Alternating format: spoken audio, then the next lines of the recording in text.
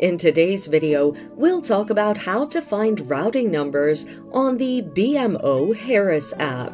Watch until the end of the video to learn how to do this and more. On the mobile app, launch the BMO Harris app on your iOS or Android device. Make sure you have the latest version of the app. Log into your account. From the main dashboard, select the account you wish to use to make your transactions.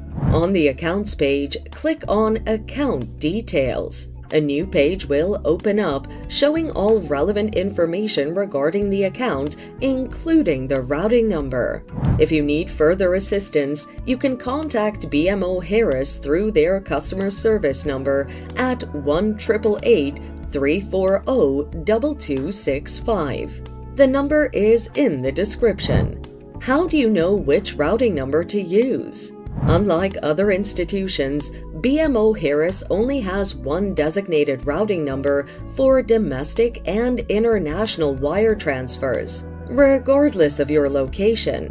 The routing number is 071 025 661.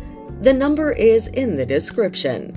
So there you have it guys, an easy step-by-step guide on how to find your BMO Harris routing number. Thanks for watching, till next time.